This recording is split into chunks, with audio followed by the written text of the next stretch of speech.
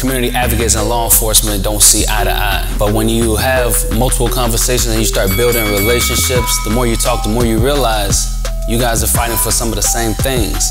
So through the working relationship between myself and Sheriff Ron Hain, we come to realize that we're both striving for greater public safety by fighting recidivism against gun violence and for criminal justice reform. So that's the reason why he and I decided to come together to put the gloves on and fight for the cause, the Hands Up, Guns Down movement, because it all goes hand in hand with uh, fighting for public safety.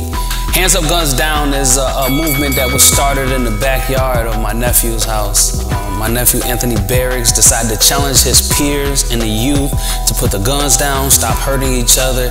If you have negative energy that you need to get out or a disagreement, put the gloves on, step into the ring, exert that energy in a positive way.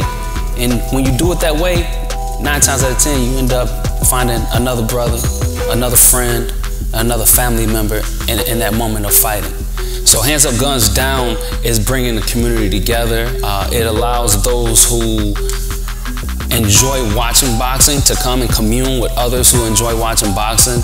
Uh, creates opportunity for people to just share stories and share conversation to get to know one another.